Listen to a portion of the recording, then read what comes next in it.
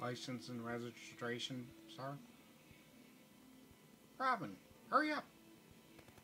Give me the license and registration out of the glove box. This officer wants to see it. Hurry, Robin. Commissioner, we have a situation. Can you help? Get the, the bat phone.